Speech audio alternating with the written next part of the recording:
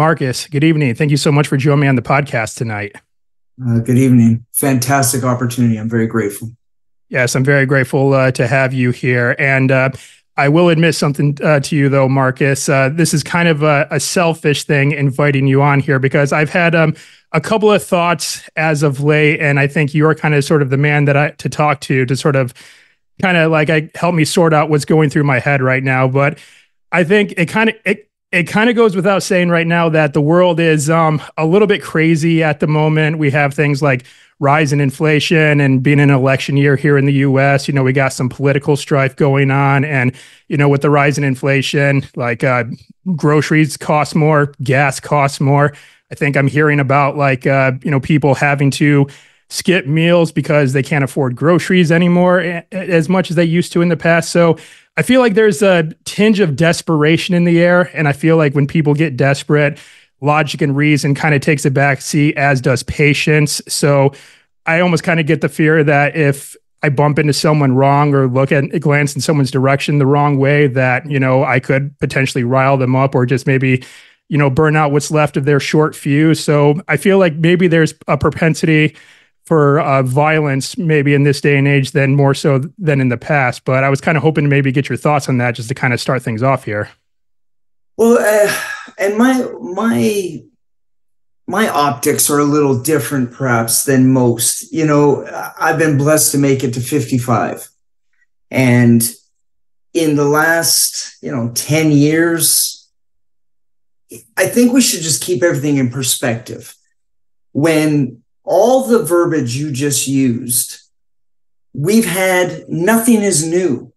Political strife. Since we had politics, there's been political strife.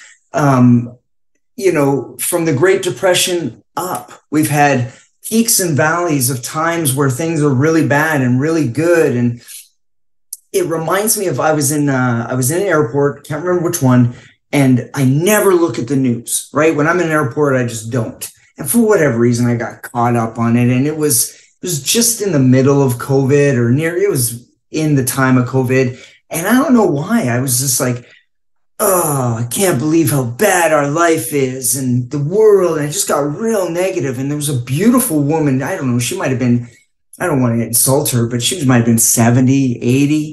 And I said, ma'am, can you believe how bad things are right now? And I just, and she just looked over and she was so sweet. She put her hand on me. She was, honey, you guys have it so good right now. And I looked at her like I was like, seriously, like she had three heads. And I said, how can you say that? And she goes, again, she goes, honey, you guys have it great.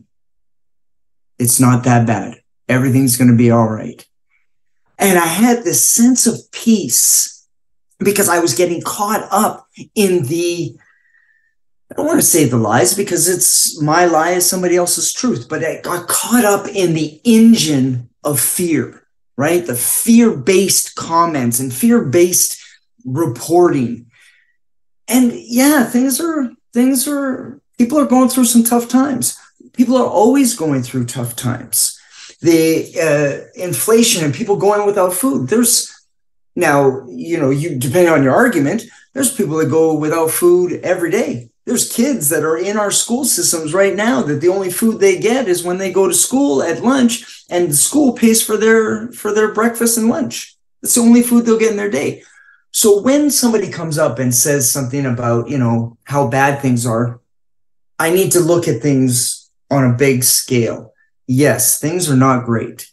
However, this country still has it better than a significant amount of the population. And I'm not saying, and I don't want to compare because comparison is the thief of, of everything. However, embrace what you do have. And more importantly, are we helping those within our country so that they don't have to go out? You know, what have you done with the food bank? you know there's there's there's a lot of opportunity to help our fellow americans that isn't being done i'm not going to blame the government because the government's job is to to just look in the, look in the dictionary or thesaurus under honest politician and there'll be a blank entry you just can't trust them right brother so and when and you brought up something really and it's important that we we deal with this you made a good point about people being on their last nerve and you're cautious about upsetting them. And this is where, I mean, this is my job, right? I teach people how to protect themselves. And the biggest thing is to not live in that fear. Look, man, if somebody goes and you bump into them, and let's say your cart hits their car or something and they freak out, you're like, you know what? You're right. I was absolutely wrong. I apologize. My bad. What can I do to, to make this right? Or de escalation is really the art of being hu- humble, owning your mistake. And if they do cross the line and they're like, you know what? And they're just looking for the opportunity to pick the fight, just, you know, simple words. Buddy, I know you're pissed. I know you're upset. Is there anything I can do to fix this right now? No, go F yourself. Okay. Well, God bless you. Be careful. Don't don't stay angry and then and then leave the situation. Right? Yeah. World's always gonna have eh, eh, the sky's never falling. No matter how much they want to report that it is, the sky is never falling. We are taken care of. Everything's going to be all right. Look, be grateful. First of all, if people lived in gratitude, this is a little judgy, and I forgive me if it is, but if people truly lived in a sense of gratitude, being grateful for what they have, you would find less people um, be so open about their dislike of how bad our country is. Right. You know, because um, I think um, in this day and age, especially with uh, technology, social media, 24 hour news cycle, it's very easy for many people to get caught up in that. And, you know, I'm guilty of that uh, just as well, too. And, you know, probably that even is shown with my opening uh, question there that, you know, sometimes I even allow myself to get caught in that rabbit hole. But, you know, it's a double edged sword. I mean, obviously, with social media, you and I got connected this way, and we're able to make this podcast happen and bring uh, this information that we're going to discuss today today to the masses. But um, you know, I, I haven't told you yet, but I'm an archaeologist by day. That's that's my profession. So obviously, I like to look at the lens of uh, our human past and what it was like for people hundreds and thousands of years ago. You know, hundreds and a hundred years ago, a couple thousand years ago, if something happened on the other side of the world, or maybe even happened just a hundred miles away from you are, would you ever have known about it? Were you ever meant to know about it?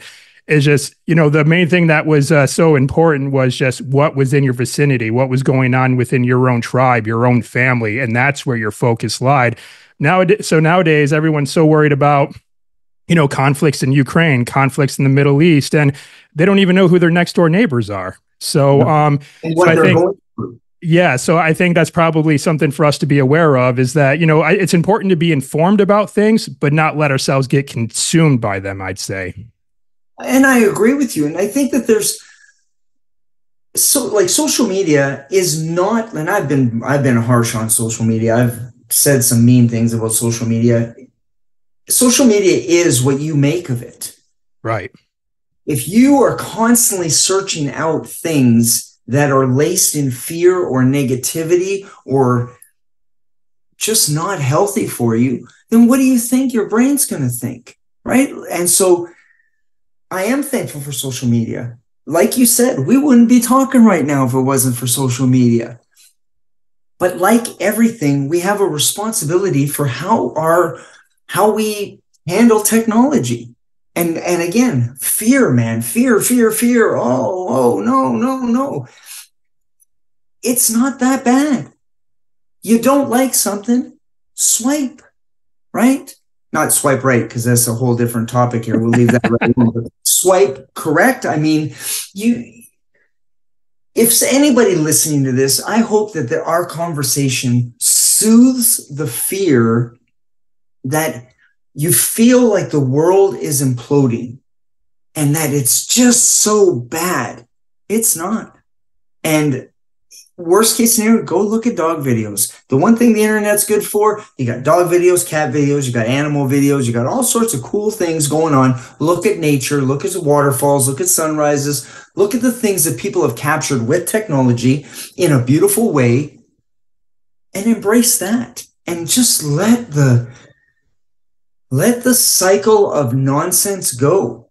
You know, if you're sitting in front of a TV screen or you're in front of your phone screen you know, eight hours a day, what are you doing for that other eight or 10 or 15 hours? Like, what are you ingesting that will balance that out? And I'm hoping this conversation will cause people to be not feeling judged or condemned, but oh, Okay. Yeah. Just options, man. Just options. Well, to go off of something that a mutual friend of ours once said, uh, Jack Carr, I mean, uh, uh, reoccurring story element in his books, the James Reece series, uh, he talks about time and that, you know, time is fleeting and it's something that none of us can outrun and we'll never get it back. And of course, he's very deliberate with making sure that those who invest their time into reading his books get the best experience uh, possible. So, going to with your point though, it's that yeah, when we allow ourselves to just consume so much of our day with the negativity on the 24 hour news cycle, on social media, engaging in like, you know, these fruitless arguments with people we don't know that don't lead anywhere. I think to myself, if I'm going to be on my deathbed, you know, when I'm 104, because I intend to live that long, mm-hmm. it's like, would I really feel proud of myself? Or like, would I really just wish that man, I wish I had one more day to just scroll through Instagram one more time, or I really wish I had one more day just to like troll people in, um, in the comment section and argue with them. It's like, no, I would I would kill to have one more day with my loved ones, with my family, with my friends, or to just have enough youthless uh, youthful vigor to go do that activity that I always love. It's just so it's like, what are your priorities with the limited time that you do have? And I don't think that fighting with strangers on the internet and getting caught up in that stuff is a very, you know, meaningful way to spend the limited time we have. Well, and everybody thinks they've got all the time until they find out just how little they really do have. And uh and again, you know, we're we take things for granted so easily, you know, we you and I are let's just leave technology, but you and I are talking, right? And you can hear me and you can see me, correct? We're, we're on the same page? Yes. There are people, men and women, children who aren't don't have access to speak. They don't have access to hearing. They don't have access to eyesight. There's people that are right now, you know, and and now as I say that, it's meant as a you um, enjoy it because you know their life is so bad. It's not. They don't have bad lives. If you talk to most people who have some kind of a disability or a challenge, you know, yeah, they got their bitching and moaning just like we do, but for the most part, they live in gratitude because they're grateful for what they do have and they don't squawk and complain about what they don't have. And that's the biggest lesson that I will sit there and preach for the la- until my last breath it ain't what you got, don't got. What do you got? What are you doing with what you do got? Don't compare yourself to the other person. Comparison is the thief of joy, man. And that is the true statement I think I've ever heard. Stop comparing. Enjoy your life. Yeah, and when I think it comes to being things that having things that we're grateful for, um, a lot of th- things that I like to try to encourage from people is just simply start with the basics more than anything else. It's like, did you wake up this morning and did you look up at a ceiling instead of a sky so you know you have shelter? Did you go um, to your kitchen where you have a water faucet that you can turn on and have seemingly endless amount of, of clean uh, water at your disposal? It's like, do you have a fridge and maybe like some cupboards and a pantry stocked with foods that you chose for yourself because you wanted those foods, not because it was just simply by necessity? And if someone is listening to us, um, like either in the podcast or watching the YouTube video, if they have a device that allows them to do so, I'm going to assume that they have those basics covered. And just simply knowing that, I think, is um, a very good start and a, a, lot of things to be grateful for right from the get go to really just start their day on a very positive note. And if you got your basic needs covered, well, you're good to take on anything else that comes your way, really. Agreed. And, you know, you, it's, I just think it's, it, it amuses me how. we're as human beings we we just will not appreciate what we have until it's taken from us. Right. Number one blessing that we will ever get you know waking up is the first blessing right? You got to wake up. Now if you're able to have a bowel movement without a bag or somebody helping you if you're able to walk down the street I'm not talking about doing some crossfit special or you know hiking mount kilimanjaro but if you can walk and and just take a sniff and listen like I, you know youth is wasted on the young has been said a million times and it's true because we just don't appreciate it as young people we just don't understand how important health health is. Health is the number one gift. Aside from my faith, right, like right underneath faith is health.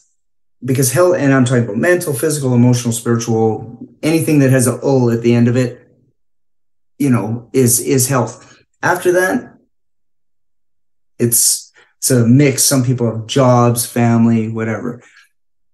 Start investing in your health. And it's never too late. It's never too late. I mean, I, I shouldn't say it's never too late, but um, I'd rather hear somebody say that they were 75 and they started um, walking and doing some body weight exercises and they lived to 77. At least those last two years, they were giving it a shot, right? They didn't quit, they didn't give up. And as you mentioned, Jack Carr, good man, I love him to death. Never tell me the odds. If you've read his books, you understand that part. Right. Right. Never tell me the odds. Don't tell me what you can't do. Tell me what you can do.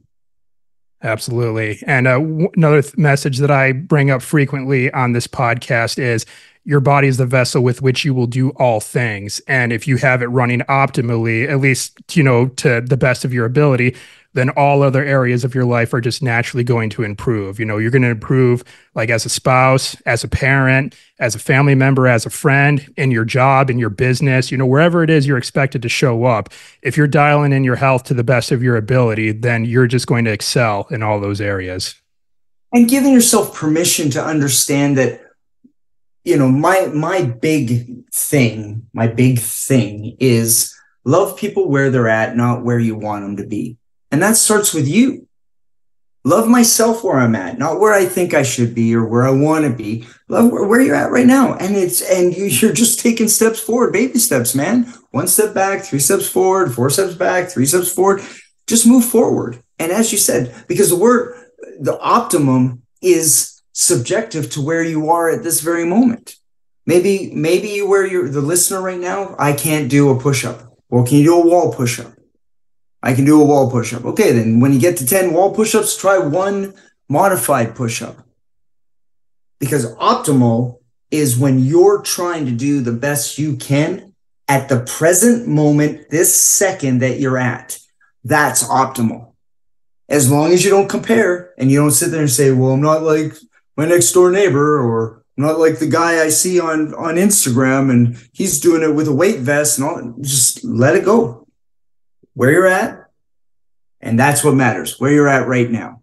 Not yesterday, not tomorrow, right now. That's all that matters.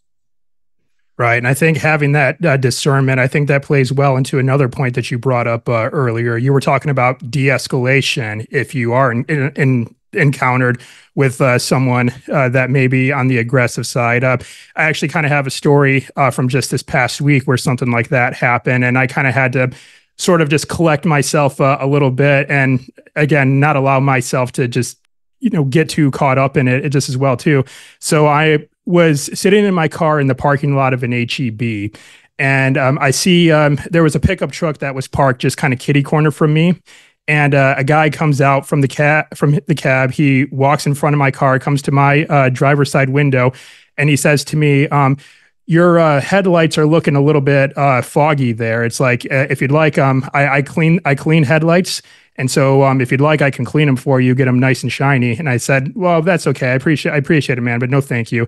And then you know he insisted on it. He's like, I, I can tell you, it won't it won't take very long. We'll get it nice and clean for you. And I just once again said, well, no, thanks, man, I'm good. And then he's like, okay. But then as he walks uh, past uh, the front of my car, Marcus, he says um, he does this little thing where he says, uh, "I'm good, man. Thanks for the offer," like in a very very mocking tone. Mm-hmm. And a part of me wanted to get out of the car and just be like, "Dude, what's your problem?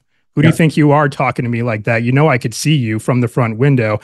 But then, um, but then the the logical side of myself kicked in and and said you know he's probably in desperation mode right now. I mean, obviously, if he's uh, trying to find um, a job on the spot where he can make some money, he's probably hurting for it right now.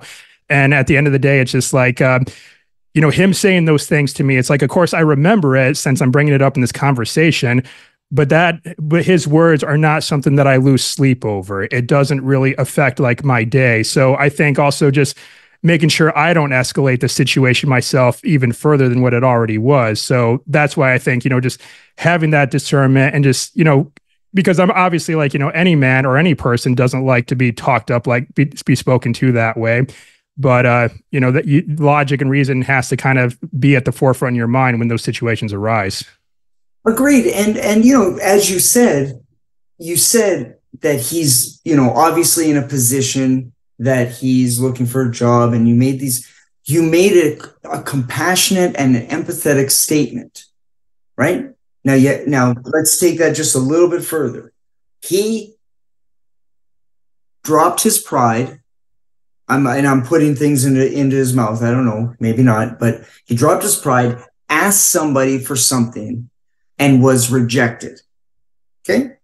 Right. No matter what, you can say whatever you want. Well, you were polite about it, and we are all polite about it. At the end of the day, from his his optics and his shoes, I have no money. I'm willing to do this thing. I'm I'm groveling and I got rejected. I'm upset that I got rejected. So I'm going to mock this guy because really it's about me and I'm upset and, and I feel ashamed.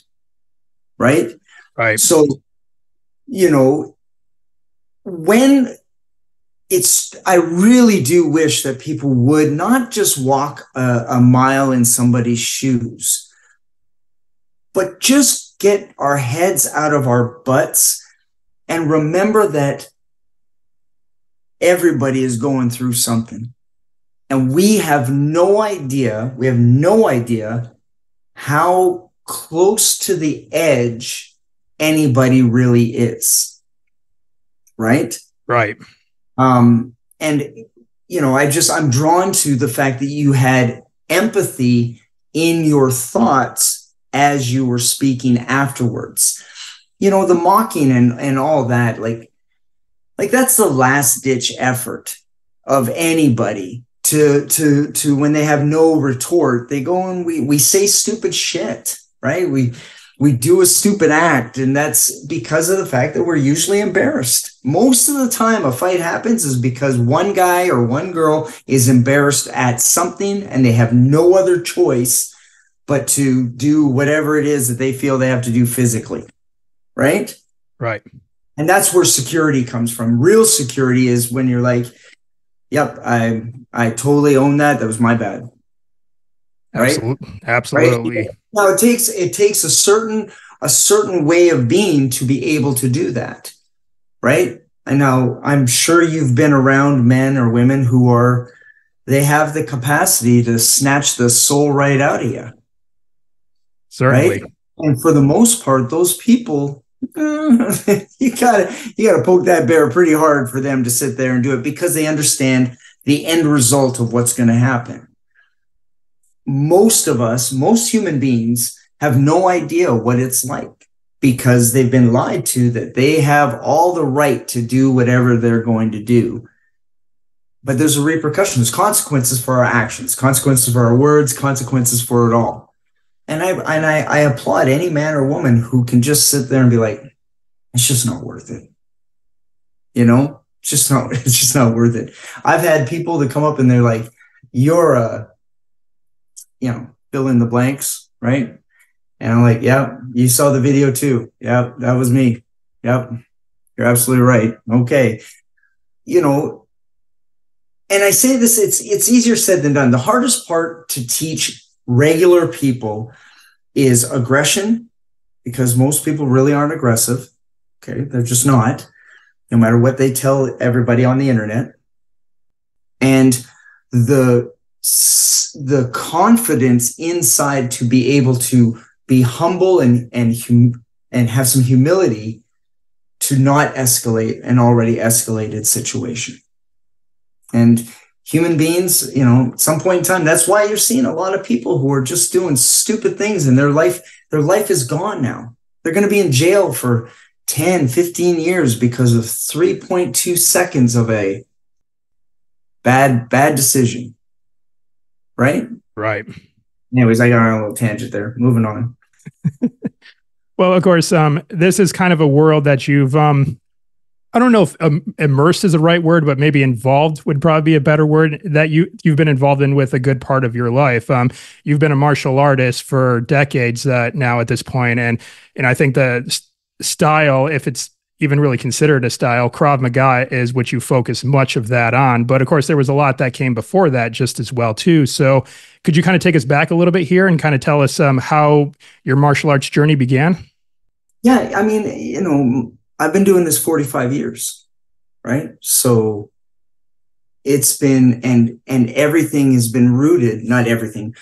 I began my my martial arts journey based in fear because I was getting my ass kicked, right? So, you know, you think you're going to go and do some cool moves, karate kid it, and, you know, you're still getting your butt kicked. It doesn't really matter.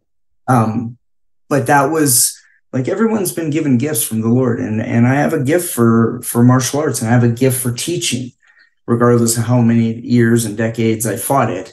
Um, and martial arts, because I was not athletic. I was not, you know, just didn't have that a lot of it has to do with confidence, but I didn't have that athletic ability to be able to cool, you know, football, soccer, you know, all that stuff. And martial arts was just a great escape. I was able to escape my my life that I was in, uh, and and that was my one go to, you know. And then that spills into nightclub security. Do that for twenty years, so now you've got a whole plethora of seeing people at the very worst of their life. Put that with martial arts, and then you get and then you have your own insecurities and fears and then all sorts of use all sorts of stupid things. But the martial arts has been my identity for you know 45 years. And uh yeah it's uh it's been a good journey. It's been a good journey now, I know that once uh, Krav Maga came into the picture for you, you actually went to Israel for a good time uh, to do this. Uh, when did that sort of uh, take place in the timeline of your life? And, you know, how long were you there for? And yeah, kind of fill us in on the details uh, with uh, that part of your journey. Well, two, 2005. Um, so I don't know, I was in my late 30s.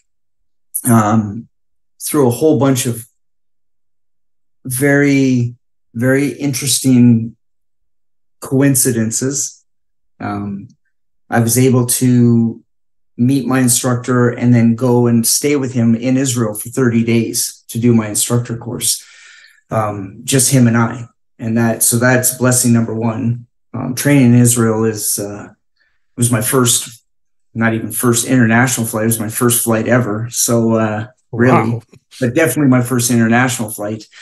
Um, and so I was I was in Israel on and off from 2005 till about 2020, just before COVID. Um, I haven't been back since, but uh, yeah, I, I, lived there for over a year, uh, and it's it is definitely a a second home. And Krav Maga is just one of those things that it's meant for everybody, right? Like you have some very athletic people on this planet who can do any type of martial art and just be good at it. And you have people, men and women, who how they're able to walk and talk at the same time is a small miracle. Krav Maga is perfect for that second group. It's super easy to learn, super easy to replicate, and able to do under stressful situations. And uh, it just, with everything that I went through in traditional martial arts, Krav Maga just fit me. It just fit me. And and definitely it was a it was a God thing. Me going to Israel, that just everything that happened. It, and I wasn't acknowledging it back then. I had no clue at all about that. Um, but yeah, Krav Maga is the business, man. So it's been a great part of my uh, my this part of my life. This last this last part. I can't believe I said that. This section of my age from the last twenty years is almost twenty years. It's been pretty fantastic you know, I, am actually um, a Krav Maga student myself. Um, I have uh, done some training uh, when I was living in England. Um, I went to grad school there. Uh, this was back in like uh, 2016, 2017 timeframe is uh, when I was living in England.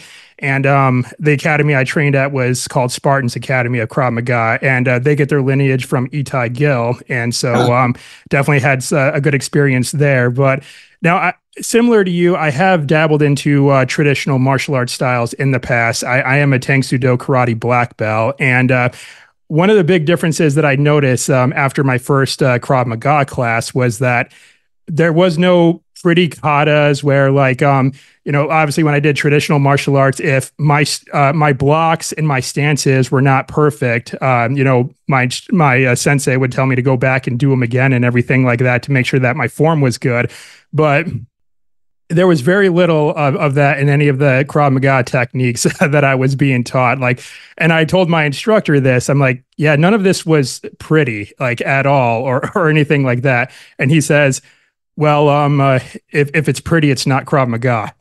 so, and and I think at that point I was kind of hooked at um right around there. yeah, and he was 100 percent on point. Definitely, definitely. If if you're doing it pretty, there's there's something you're not doing. You're not doing. You're not doing it right. Yeah, yeah. absolutely. That's awesome. It's, and so, have you have you started any training in uh, where this the city that you're in? Um, not not currently, and that was, and I'm glad you asked because that was sort of uh, the question I wanted to get into uh, next. Uh, now, the way that m- my academy was run over there in England, um, you know, much like how many Israelis are, very direct to the point and everything like that. You know, no messing around, no BS, just uh, all all business. Like that's really um, how uh, George Husar, that was my instructor. That's how he ran um, all of our training sessions, very direct and to the point. You know, there wasn't really a whole lot of room for like laughter and goofing off and horseplay or anything like that.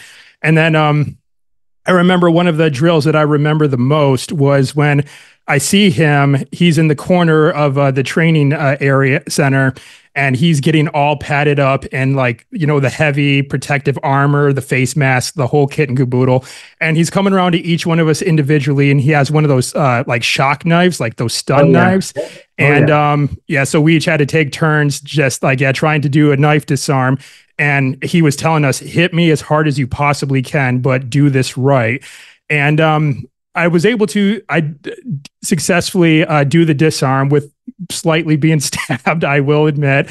But once it was all over, uh, which it was probably over in maybe like two seconds tops, you know, my heart was just beating through my chest. You know, I felt like I just sprinted up a mountain. And, um, but of course, that's what he was, he was trying to deliberately get that response from us, like that stress inoculation and everything like that. And when I came back stateside, uh, Marcus, uh, I have tried like Krav Maga in like other places, like uh, when I was traveling uh, for my first pro- professional stint as an archaeologist. And I remember I went to an academy here and there was a few red flags I, um, I, I will say, and um, and then you know maybe maybe you can help me shine help me shine some light on this. But our opening warm up was like this game where we each had to take like a um, a striking mitt and place it on our hands above our head like this, like like a like we're a server at a restaurant, and then we had to like shuffle around like areas on the mat and we had to try to knock other people's uh you know pad over and so it was a we were our warm up was a game. And um also the instructors and some of the students there had belts which i haven't seen like like belts as in like traditional martial arts which i haven't seen in krav maga up to this point. I mean i knew that there were certain rankings amongst different federations but i never saw them in the forms of colored belts before. So um part of me wondered if that when Krav Maga maybe came over an ocean, if it might have gotten slightly watered down in the process. So I think it's been hard to try to find like another academy just because, you know, my frame of reference was how I started when I was uh, in England at this academy. So, um, so, uh, so I'm kind of maybe also curious to get your thoughts on that. Is um, when it when like money's involved and it becomes a business, does it kind of get watered down to be more inclusive? I guess I'll say. Well, I I'm going to say this that in America, in America, we have men and women who come to do a martial art and it's and it's it is for self-defense. But it's also for whatever their motivation is. Their motivation may start as as self-defense and then it becomes a place to go and be social or it becomes an, ex, uh, an extension of their house where they can sit there and make friendships. Um, I don't believe the term watering down. The problem I have with watering down is really if the instructor is not motivated to doing things that are going to save or improve their odds in a violent altercation, then yeah, we got some challenges there. You know, Krav Maga has, has got one purpose, only one purpose, um, and that's to survive an altercation. That's it. It's only purpose. It has no um, hit, counter. The four rules are simple: deal with the threat, counterattack as soon as possible, disarm, disengage, disarm or disengage, escape. Four rules. That's it. So that's all Krav Maga is. Four rules.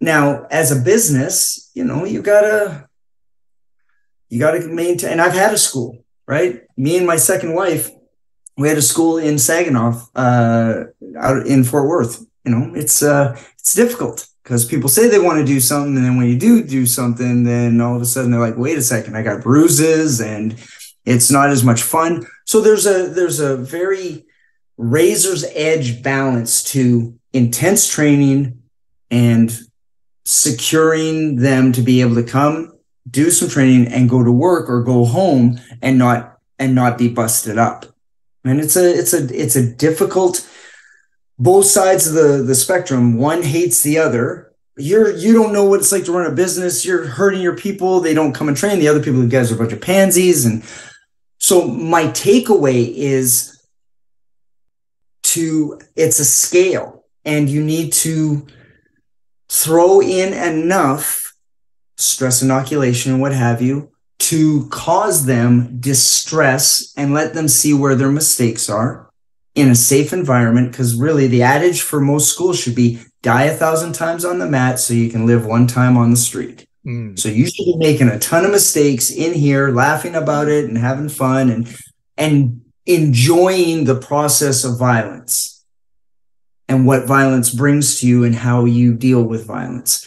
Um, but now that being said, I that's my job for for 10 years. My job was to certify men and women and becoming instructors and doing seminars and rank testing, all that. So, you know, my my viewpoint's a little different than other people and this is why I try my best to sit there and, and take people now and just say, look, when violence comes, you're never going to be the same again. Choose how much of that change is going to be something that you can live with and what you can't live with. Because it's up to you. How you deal with when violence comes to visit you will be different than how I do it or how somebody else does it. And it doesn't matter. There's no right or wrong because you're the one who has to live with you.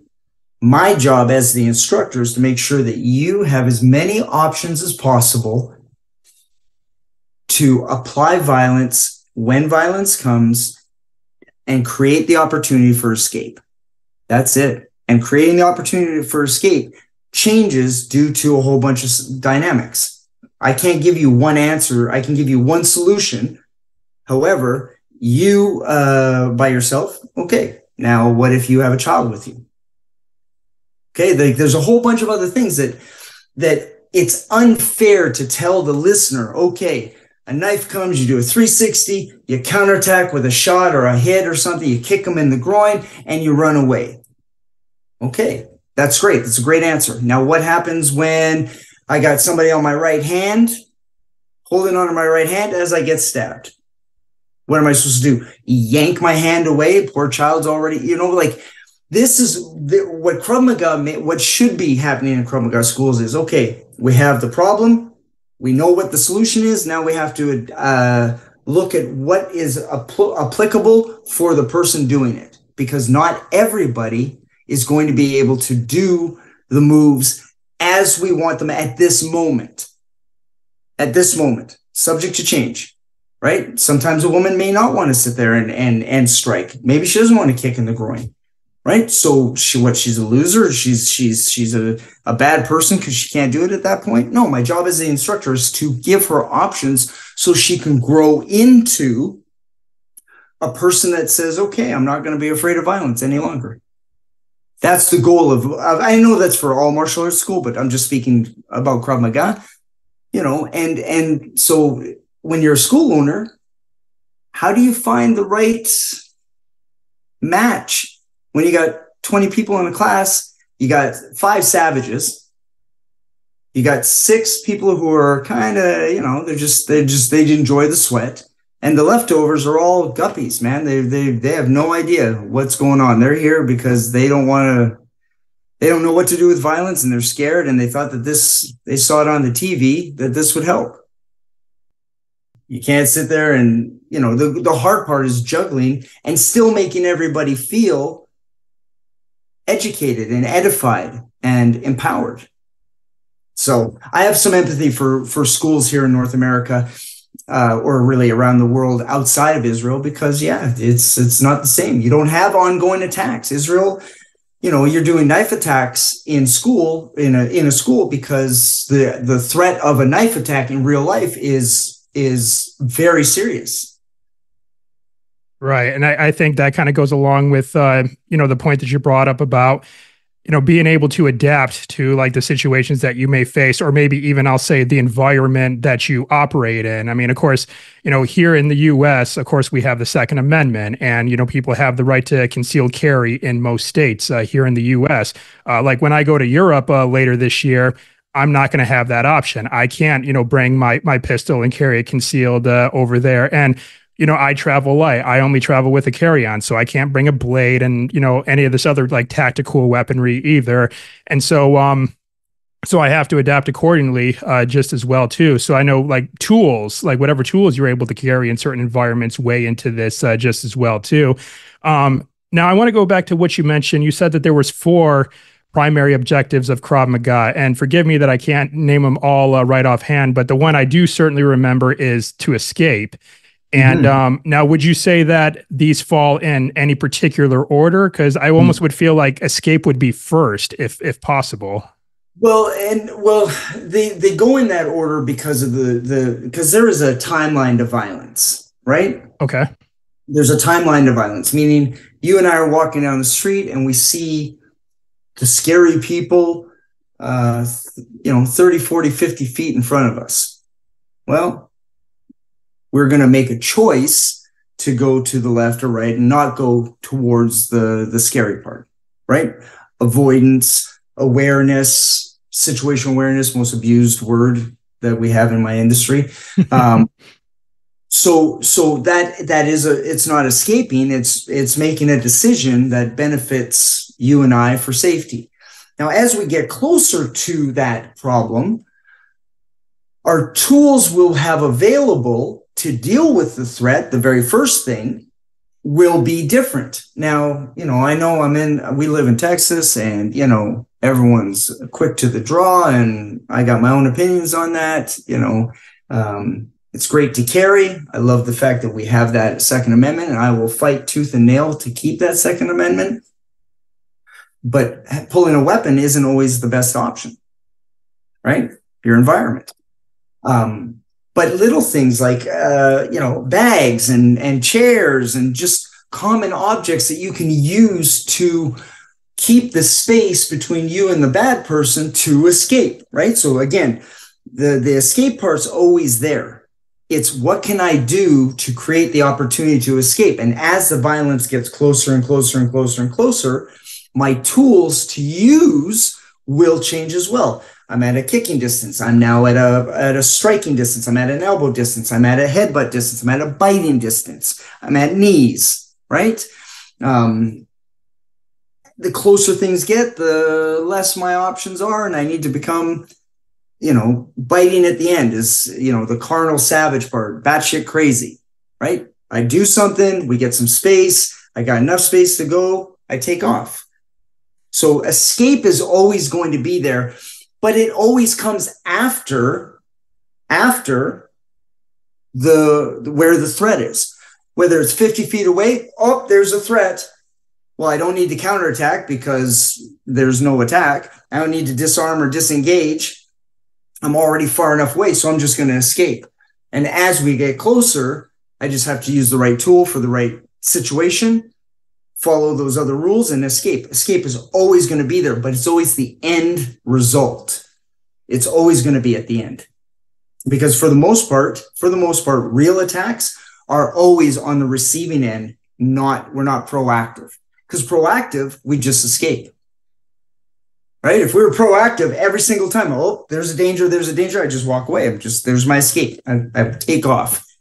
most of our attacks are on the receiving end. And that's where, oh, oh, I'm screwed. Do some kind of movement. I got some space. Take off. Now, I want to ask a little bit about, like, again, God forbid that anyone listening uh, to this um, get themselves in a violent situation, or maybe even some who are listening probably maybe already have. Um, yes. Would would you have any advice for like the aftermath? Because another point that you brought up is that if you are someone who is involved in a violent situation, you know your life is different forever. You know, it's like it's it's hard to like let go of the fact that something like that just happened to you, right? And sometimes it could even be dragged out. Like if you had to defend yourself, now you're in the courtroom, and you know this memory is constantly being played on back to you by you know people who weren't there, and they passed their judgment and everything like that. So. Right. So, like mentally, would you have any advice for someone who may be having to deal with the aftermath of something like that?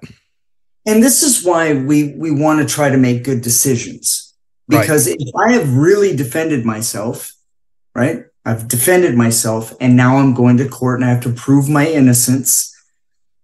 The damage done to me, which no matter what, you're going to, you're not walking away unscathed.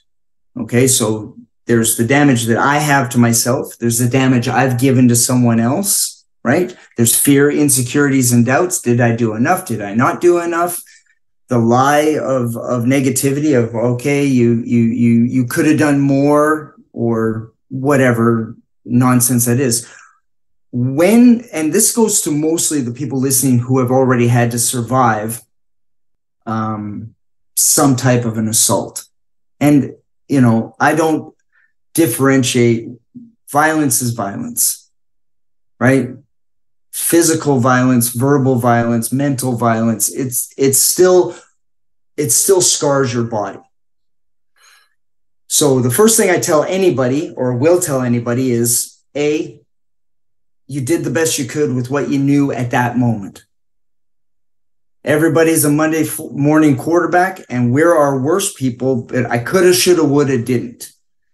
And I think that's unfair because at that exact moment, at that exact second that you did whatever you did or didn't do whatever you did, that's where you were at that time. And to find the forgiveness of yourself that that was the best I could do. Now, when you go to court, pray your lawyer pays attention and and and you are forthright in in what you did. And and this is why I, I, have a challenge with instructors who you know when you get an opportunity to escape they teach their students to re-engage. You know there's a circle of uh, you know a use of force circle there's a circle for that. And when the stop the fight is stopped and you've got a chance to escape and you didn't you know now now it's now you are up a creek without a paddle so if you're listening to this and you you've had a violent situation and it didn't go the way you wanted it to, and you harbor, and it's probably been years that you've that you've held on to this, I ask you to try this and remember who you were at that time, who you are now, and how much of that are you allowing from that past to impact you now at this moment and ruin your life? Right? Like if you're if you were assaulted and you didn't fight back and you feel like a coward and you feel like you're useless and all that just remember who you were back then. You're not the same person. You're you're you're going to be changed forever. Do you dwell on the negative or do you do something so that you never have to be in that situation again? I'm not a big believer in um, i screwed up before so now i'm going to go overboard and to make sure i never get violated again i'm going to go and i'm going to hate everything. I'm going to kill everything. And that's not healthy either what was it that you didn't do? Start there and now find outlets that will help you heal the pain of that moment. Because that's really the chances that you're going to get attacked the exact same way again are so minimal. Really, all we're doing when we're f- trying to, f- to fix what's happened in the past is we just want to sit there and give ourselves permission to live again and say, I'm not the same person. I can do better now than I did before. And the hard part is letting go of that old stuff so that you can grow into this newer version of whoever you are.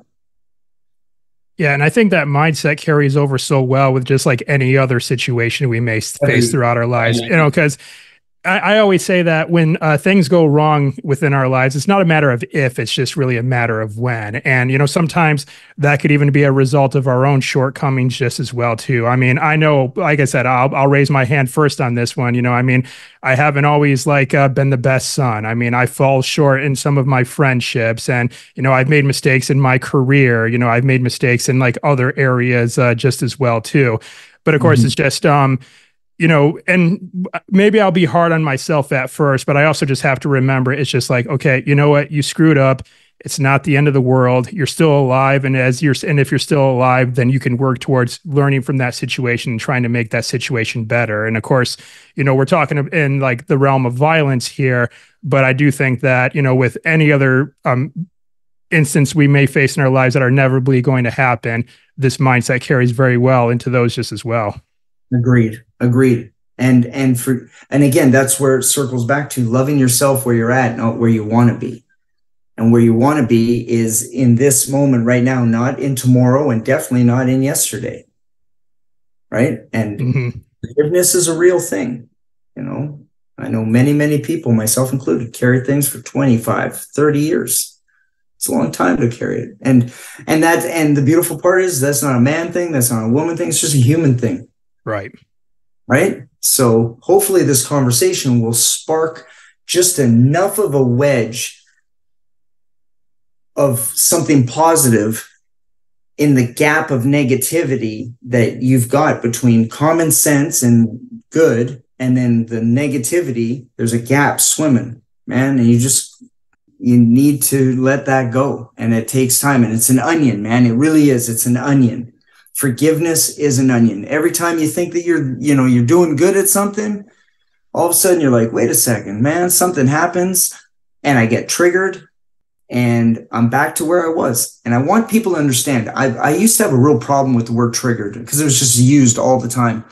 And then I had this really this revelation that triggers, and again, my faith is massive for me. So for some people that have a challenge with my faith, you're just going to have to listen to what I have to say because it applies to you. Just you may not like the verbiage, but triggers are just God's way of showing you what you need to work on. Mm. Right? Like you're triggered about this. Okay, I got some work to do on that subject then. And it's not, oh man, I suck. It's okay. At least now I know what I got to work on. All right. And walk towards whatever it is that you're triggered about because that's your, there's your healing, man that's your healing. You got to walk towards your healing. You cannot walk away from your healing. And that shows you can talk to anybody who's gone through any kind of tragedy. They will be the first to say that when they walked away from it, it just, it just got interest, man. It just became a big tsunami. Just go towards it and it's going to suck and it's going to be uncomfortable and all the, you know, all the little motivation words. Just walk towards it. Just lean into it and this is where, you know, for my faith is a big deal because I'm not alone.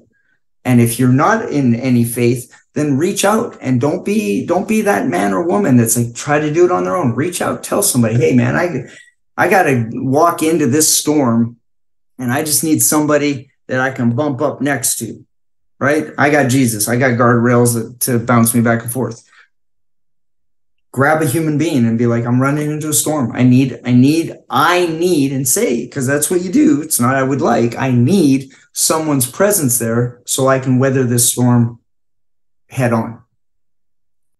Yeah you know my faith and, and many times in the past has kind of been on shaky ground. You know, God and I, you know, we've had a complex relationship throughout the 38 years that I've been on uh, this planet. We're on good terms now, uh, thank goodness.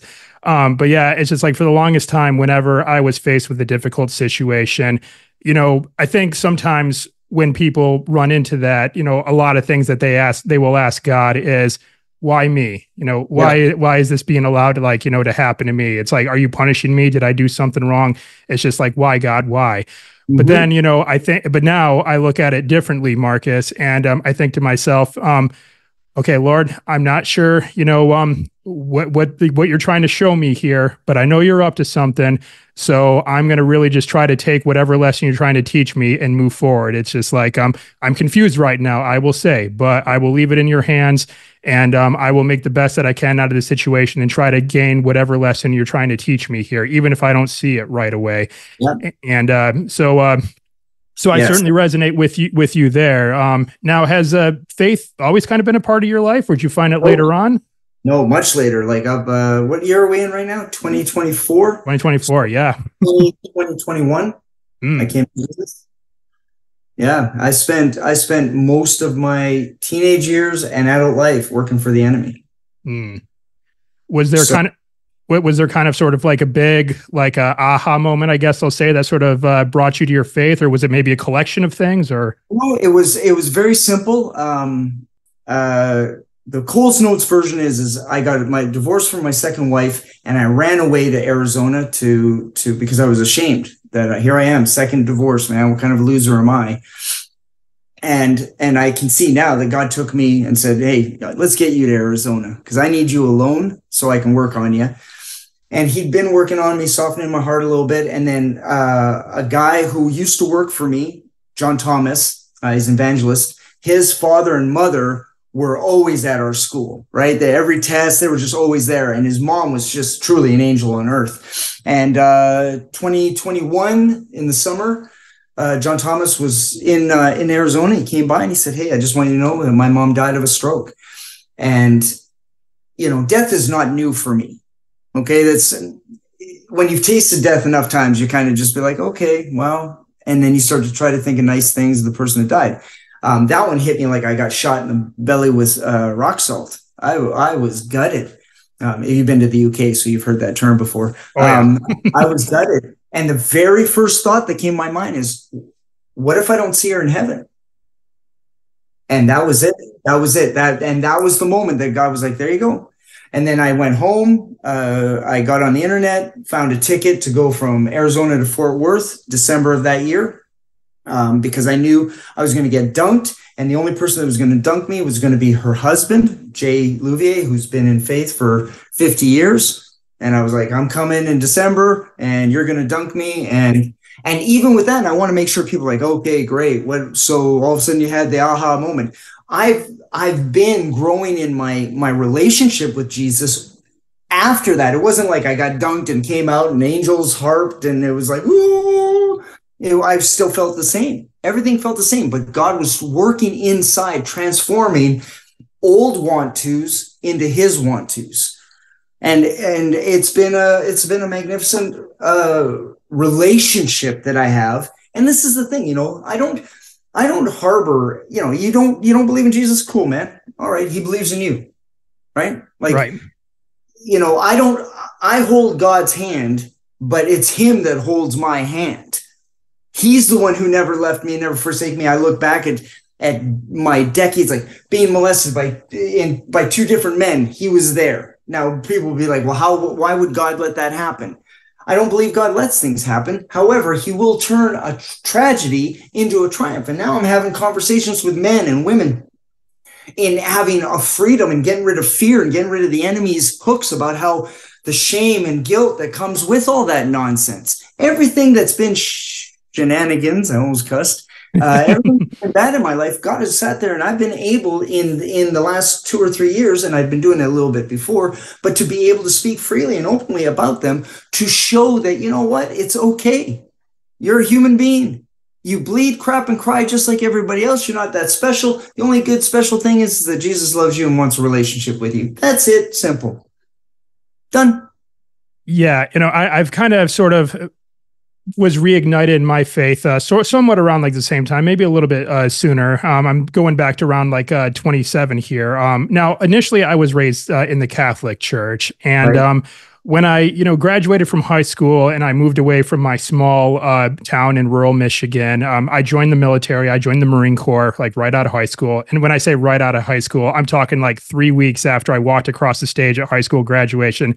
I was on a plane to San Diego to start boot right. camp. So, uh, right. and, and then I think during like those early adult years, I kind of sort of fell out uh, from the church. I mean, I'd find my way back in, like, you know, on occasion, but I, I think ultimately it's just, again, I, I kind of let myself get a little bit of astray with uh, my relationship with God. And as I started experiencing things, you know, there was a few things then, you know, m- my own mindset that kind of drove a wedge in our relationship too. Like, uh, I also joined uh, the Peace Corps um, a little bit later on, and I was uh, living in a small village in uh, West Africa for two years. And, you know, I just remembered like looking at the people of this village and, you know, you brought up the point about how, you know, comparison is the thief of, is the thief of joy. And, you know, I found myself doing that a lot, like kind of thinking about my own like st- cultural standards and kind of like sort of placing it over them where it's like they didn't have like electricity running water high speed internet all these like you know things that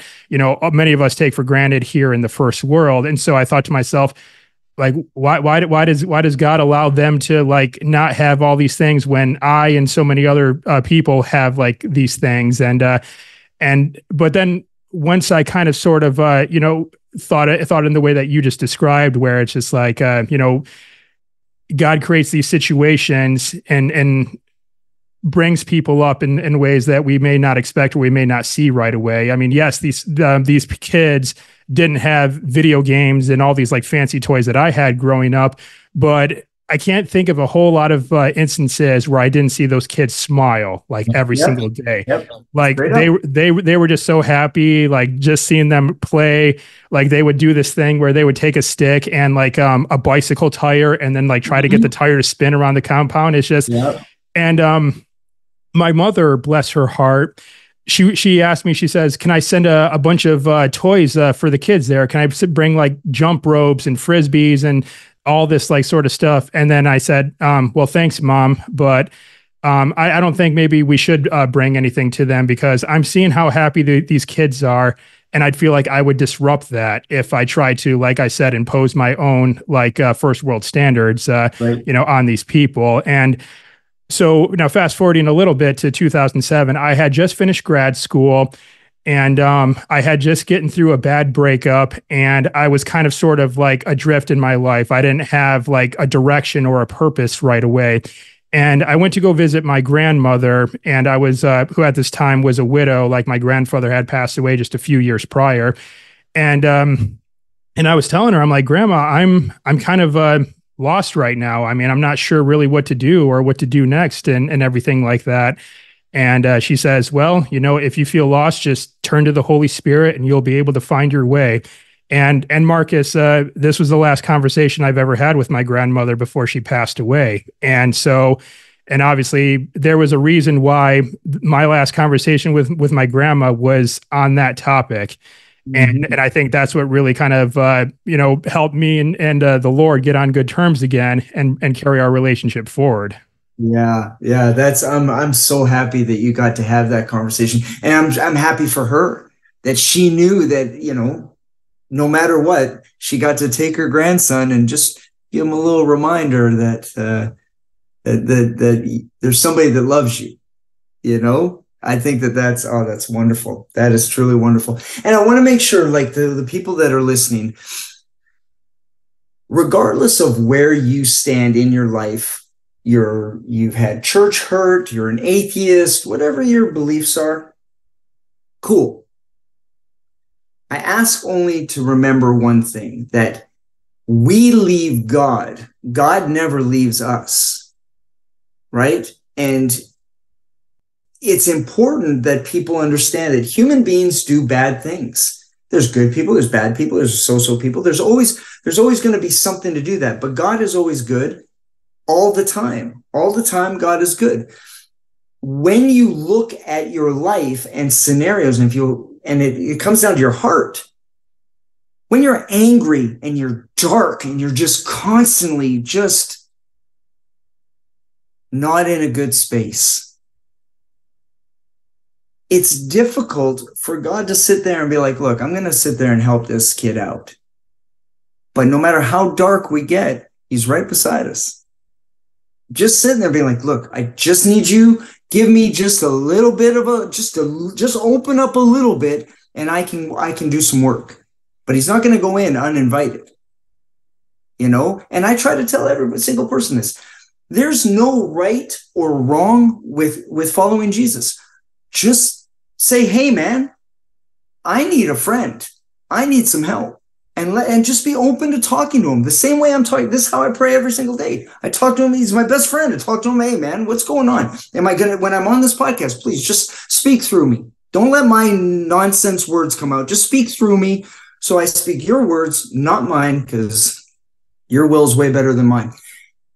It's not all the lies that you've been told. It's not having to go to church every Sunday and every Easter and having to do this and having to do that. It's a choice, man. I get to sit there and have a relationship with somebody who will never leave me or abandon me or forsake me. And if you've ever had trust issues in your lifetime, I know there's people listening who are like, yep, hands up. I, I got trust issues and then some. It's very cool to have someone love you and will never leave you and never, and just forgive you for being an idiot because we're idiots. We're human beings. We were born flawed, man. Cut yourself some slack. I'm not saying, and I'm not saying it's okay to go and act like an idiot. Like, don't don't think I'm all like woohoo. Okay, I'm just gonna say one more thing and let's move on because I'm on a on a roll here. Sure. Grace and mercy. Grace is the good that we don't deserve that we get anyways. And mercy is the bad that we most definitely deserve that we don't receive. And those things are from Jesus. And, and that alone is my number one selling feature to myself and the fact that I am loved by a person who died for my sins. And no matter how bad I get, he's going to sit there and be like, okay, you saw that didn't work. Let's, let's try, let's try something else. And the transformation is a real deal inside, man. Old want tos versus new want tos. And my new want tos are in line with him. And my old want tos are in line with an unhealthy lifestyle. And there you go. Thank you for coming to my TED Talk. All right.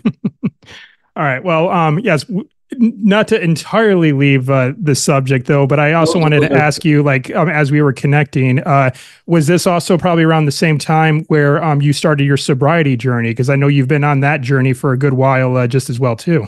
No, I uh, I've been sober now nine years. This year is nine years. Uh, I, that was so 2015. So no, I was not walking with the Lord during that time. I just stopped drinking because I knew that I had never had any good memories with drinking. And gotcha. I, right. And so, so my ex-wife and I, we both just sat there and, uh, May 24th, I think that's the date. I'm so bad with dates. Um, we just were like, we'd got hammered the night before and, and there's just such a crummy feeling having to look at my phone. And I'm like, okay, so who do I have to apologize to? What stupidity did I do? And the sh- guilt and shame.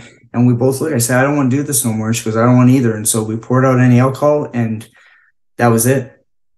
I didn't drink again. I went to my first meeting like three years ago. Uh, a buddy of mine, I was in Minnesota doing some teaching, and he was like, "Hey, you want to go to a meeting?" I'm like, "Yeah, sure, man. Let's go." Never been to one before.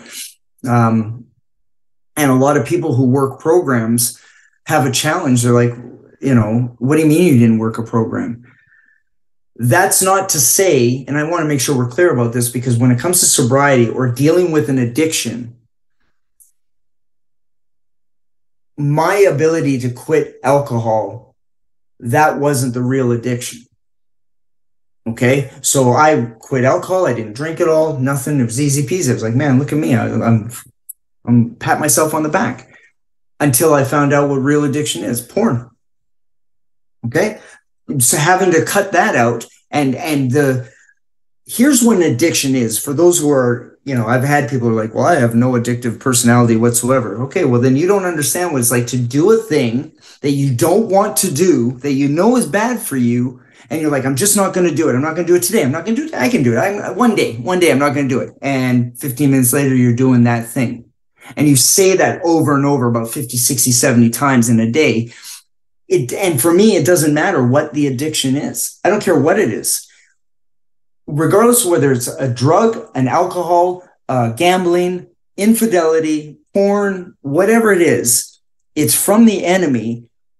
And it's a challenge to go every day and, and just feel like a, and to do that without feeling like a bag of shit. you know? And so one thing that this my walk in this walk is my empathy for addicts has completely changed. Because when I was drinking, I was like, what do you mean? Stop drinking, man. I did it. My ex-wife did it. It's easy. It's all in the brain. You can do it. And then the Lord was like, okay, let me show you where your addiction really is. And let me show you how difficult it is since you're so great at change at stopping things. Let's see. Now you're going to look and now you're going to see what fentanyl really is like and what heroin really is like. Because at the end of the day, it's something that destroys you and it destroys the relationships of anybody you're with. Now, I can say porn has ruined my entire life, but it's it porn is the it's the thing. Whatever the root problem is, you got to find out where the root is, what caused that root to explode, and then your addiction is easier to deal with once you get to the root of it. Because if you just sit there and go to the problem, the problem, the problem, you're going to be fighting every day, you know. And uh, and I say that because there's men and women that are addicted to things on this earth and feel hopeless because they cannot they cannot stop whatever the thing is find the root and that's the hard part right i think we can agree finding the root means that means i got to tear away at stuff and find out where it comes from so that i can take that root out and replant it with something that's healthy and positive. and if I may add to that too, it's also, I think, where maybe a lot of people fall short, and I am speaking from personal experience here, is uh, I tried to fight addiction alone. And mm-hmm. um, and I think uh, you know, and and that it, one thing that really keeps um, a lot of people from opening up to others about their addiction is, you know, the guilt, the shame, yeah. like you mentioned too. It's like we don't mm-hmm. want people to know the side of ourselves, and yes. um, but we but we know that when we engage in these behaviors behind closed doors, we do them behind closed doors because you know we don't want people to see us like that and everything so um now I, I bring up the analogy you know with some of uh you know the men that i've aligned with um you know who are also facing like addiction in certain things is that i say if you're trying to battle addiction by yourself you're fighting a demon in the dark. And in mm-hmm. darkness demons have home field advantage. But when you get other people in the to fight alongside you they bring light into that darkness. And if you can see the enemy, you can fight the enemy better with their help. And also, going back to, like I said, this is why I didn't want to totally walk away from our topic of faith here is that, you know, bringing God into the fight just as well, too, helped uh, pretty significantly uh, for me as well.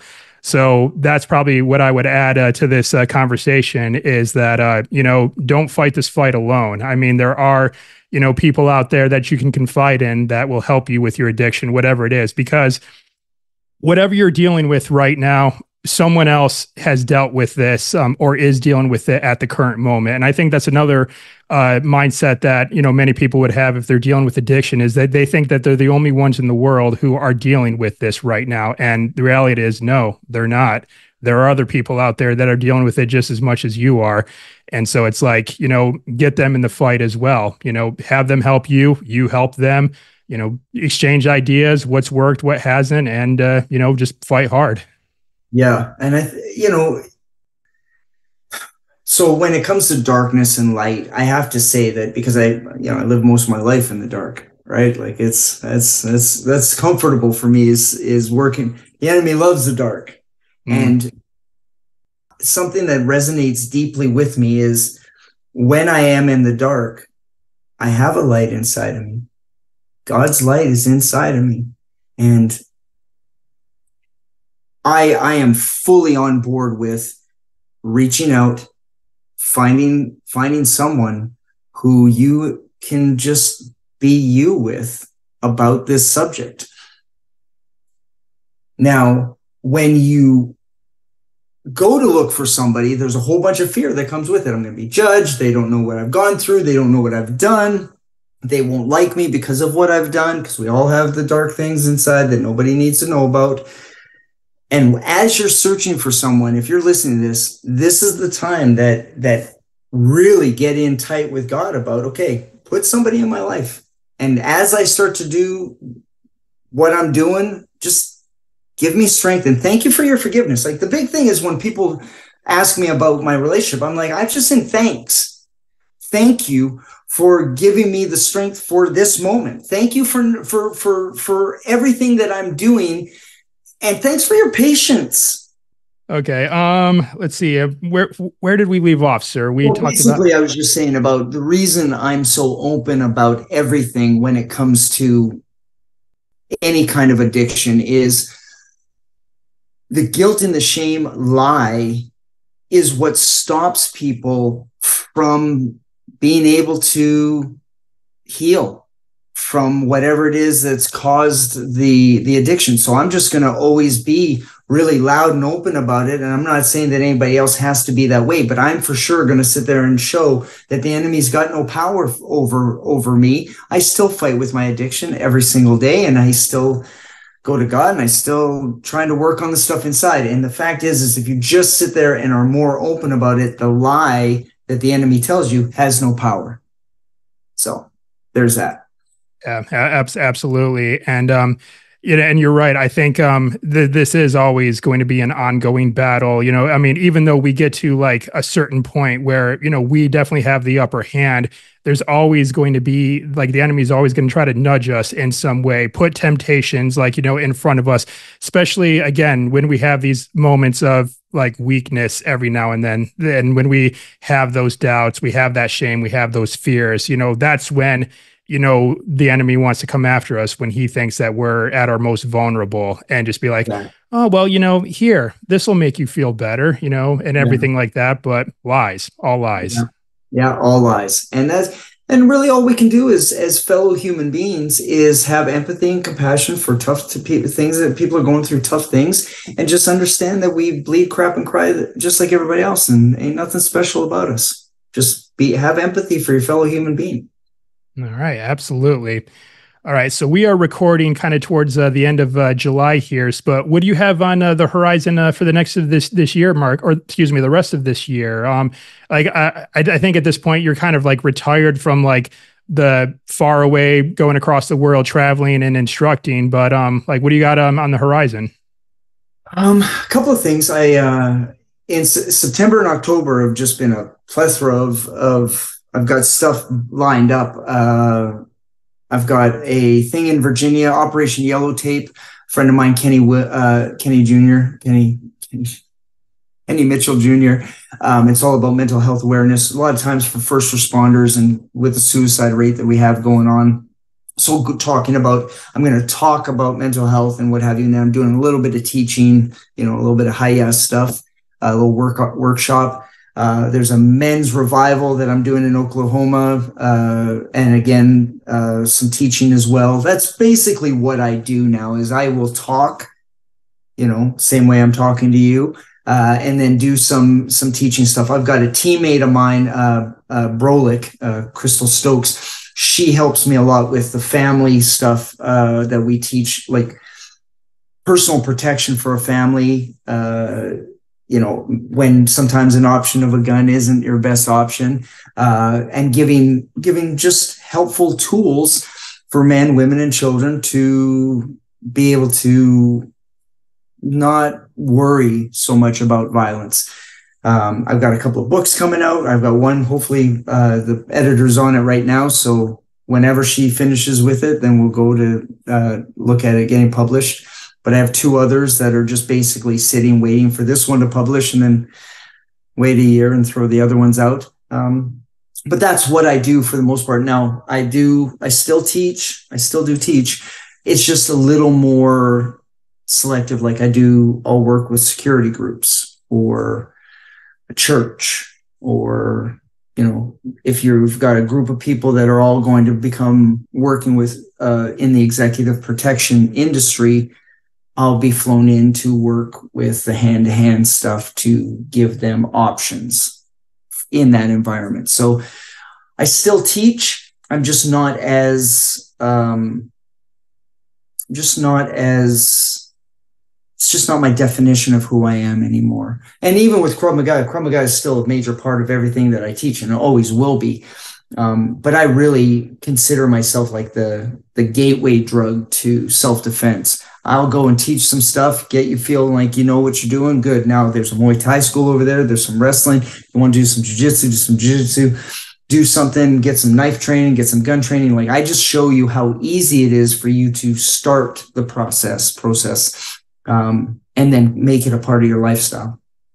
All right, Out, outstanding. And where can um, our listeners and our viewers go to uh, connect with you, and also to, be, to kind of be kept in the loop when your books do come out down the line?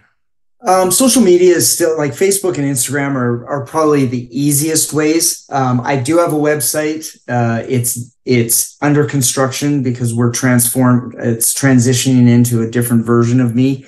Um, when I put it up before, it was when I was in Clint Emerson's Hundred Deadly Skills mm. uh, book, which if you have if you want one book for self-defense go buy that book clint emerson's 100 deadly skills combat edition it's got about 20 instructors i'm one of them and there's little qr codes that go to the, the videos of each technique that's in the book gives you a great understanding and options i highly recommend it um, so i usually say my website but since that's kind of transitioning instagram uh, and facebook best way to go all right. And I'll get everything linked up in the show notes uh, for this episode. Or if our viewers are watching us talk on YouTube, it'll be down in the description below so they can find uh, everything there.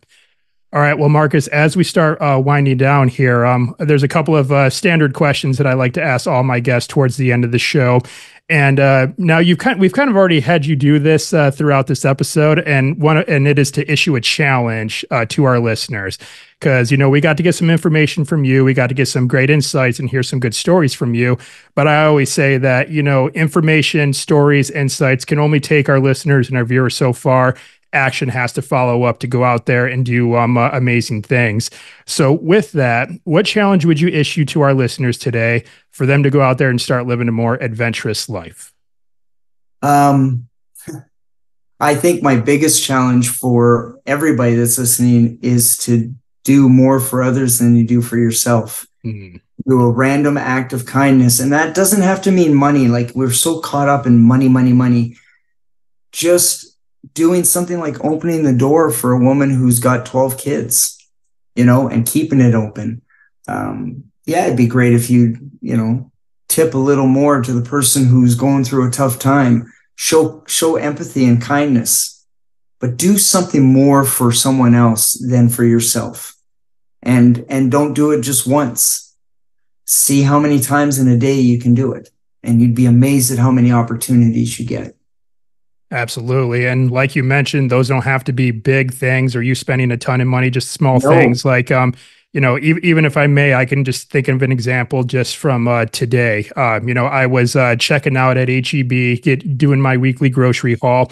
And uh, when I went up to the cashier, um, I addressed him by his name because he had his name tag on. And he just like, his, his you know, it, his ears perked up a little bit because I don't know if anyone really even thinks to do that, like actually address a cashier by his or her name, yes. right? You know, because it's like, uh, I, I, feel like a lot of people just might like look at cashiers as a means to an end rather than an actual person. Um, but I just humanized him just by calling yes. him by his first name. And I think that really landed pretty well. Yes. Yes. Everybody deserves to be treated with some dignity. And I would go so far as to say, especially the person who's not being very lovable to you be lovable back. And that that's harder to do than it than you think because they are being mean to you. Just remember and i'm going to say this when somebody's mean to you just remember they're not mad at you. They're not being mean to you. They are there's something hurting big time inside. And if you can just think about the fact that wow they're not really mad at me like when they cut you off right? Road rage has nothing to do with that person or with me they're cutting me off because they were going through it. So empathy and compassion are probably the two things that we have as a gift in, in human eh, being humans that we don't we do not exercise that enough. And it's not hard. It's very easy. Absolutely all right. So what I have next for you is my final three. Now these are three uh, um, questions that I think are kind of fun. Um, that may be subjective, but um, I'll let you decide on that when you get asked them. And um, all my guests get asked these questions at the end of the show, so you're going to get asked uh, these as well. And okay. the first of these uh, three questions is: What is your favorite place that you've been to so far? Besides Israel, and I I qualify it besides Israel. Oh, it's tough. Um, Costa Rica and Greece. Okay. Now I'm trying to think. Um, those might be uh, original uh, answers to this question, Marcus. Um, I'm trying to think of anyone else uh, that I've asked this question has said Costa Rica or Greece. I don't think so. So we may be um, we may be like one for one for original answers to these questions. So uh, right, that's always good. But I have a couple more for you. And the second uh, question in this final three is: What is one thing on your bucket list that you have yet to do?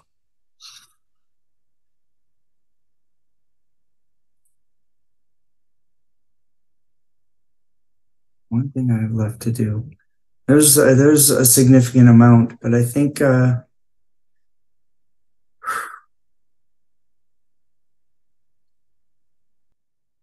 I would have to say, oh, that's a that's a really good question because of the fact that I've I've done a, a lot of things. Bucket list. Oh, buddy. Okay, let's let's go to the next one and then let come back to this one because I I need to needs to stuff has to come to the front of my head. Very well. All right. So uh, the the last question in this final three, and this is a two parter. What is your favorite animal, and have you seen this animal in the wild? Favorite animal. My favorite animal, I have to say just one, because you always think about an animal of like, would you like to play with them? You know, mm. like, and I, even though just big cats, you know, big cats, like just the power of of big cats, you know, lions, cheetahs, uh, panthers, um, and I have seen them in the wild, but I have yet to see them in their domain. There's a an organization that I I, I will be doing more work with called VETPAW, and they're in uh, South Africa and Africa, and their job is to protect indeed like rhinos that are left from hunters and and from the people that get kill animals for their tusks and what have you. Um, and I know they allow people to come over to see the operation and you get close to those animals and seeing them in in action. So my favorite animal would be um, like a big cat. Now, my favorite animal as a pet, I've always been big on skunks. Skunks. Always, yeah, and really? I've yeah, and there's a lady that has one in Virginia where I'm going to teach um, and they're, you know, they've snipped or whatever. Uh, and I've just always wanted, because I heard they're, they're the perfect blend between a dog and a cat. So if I could have a skunk, that'd be pretty cool. All right, skunk is definitely an, an original answer uh, to to, the, to, this question, Mo- most okay. certainly. Um, okay. But yeah, yeah, that, that's interesting. I didn't I didn't realize that you could, um, I guess, uh, take away their capabilities to. Uh, well, yeah. I mean, it's a defense mechanism, and and and if they're in like I guess like a loving home, there's really no need yeah. for a defense yeah. mechanism like that, I suppose. Yeah. So that's interesting. I didn't know that. Yeah. Now you said this was a two part question. Well, I mean, well, as if you've seen them in the wild okay. before. Yeah, and part. I and I have I've seen skunks, but uh, not not not and here in Texas, but I I don't get close. Um, now you asked about a bucket list, mm-hmm. and uh,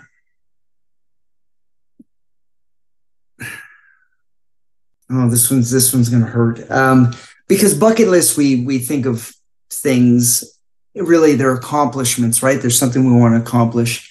Um, and and a bucket list for me would have been having a grandchild. Mm. Um, I won't get a grandchild uh, in my lifetime, meaning that my son, because of his condition, he like he's the last. I'm the last of my bloodline. He when he I die and he dies, that's it. We're we're gone. Um, and there's just something about becoming a grandparent uh, or great grandparent, even if you're blessed. Um, so for me, that's a bucket list thing that I would love to achieve, um, knowing that it's unlikely, unlikely to happen. But that was what came to my head when you asked the question. Um, there's cool things to do, you know, bungee jumping, all that kind of stuff. I've jumped out of planes and that's cool. But bucket list of checking off and being like, yeah, I'm glad that that happened. Uh, I would I would pick uh, having a grand grandchild, and I don't want this to be negative. Like it's not. It's it's just that's what came to my heart, and so that answers your question. Well, we are certainly three for three for original answers uh, to the to these questions, Marcus. So bravo on, on that. Oh awesome. All right. Well, Marcus, uh, that's it, man. That that's all the questions uh, that I have for you today. But before we uh, call it a day here, let's just recap one more time where our listeners and our viewers can go to uh, connect with you, where they can find uh, the books um, when they're out, and things like that. What do you got for us? Well, Instagram, it's my name, Marcus Torgerson. One uh, that you can't you can't miss me. Facebook has two pages. There's there all my stuff is public, right? So you know, there's a a, a, business page, I guess. Again, Marcus Torgerson, and then there's a regular page I've had for a decade and a half. Uh, Marcus Torgerson, my face is on it. You can't miss it. Um, and my website is just www.marcustorgerson.com. And uh, all information regarding books and newsletters that will be coming out, all that kind of stuff uh, will be in either those social media platforms or when the I find a website person that'll uh, fit nicely with me, then we'll have the information bombarded there. All right. And like I mentioned, I'll have all those linked up in the show notes for this episode. Or again, if our, we have viewers on YouTube, it'll be in the description below for them to go click away and find everything. All right. Well, Marcus, I want to thank you very much uh, for taking the time uh, for, for joining me tonight. You know, again, it's uh, small world. You and I have mutual connections, and I'm glad that we were able to uh, connect ourselves and uh, get this conversation going today. So, yeah, thank you very much for being here and sharing your stories and insights with myself and the listeners. It's been great. Well, thank you. It's uh, it's been a real joy, real joy to have this opportunity. Thank you. It's great to meet you. Likewise. Right on, sir.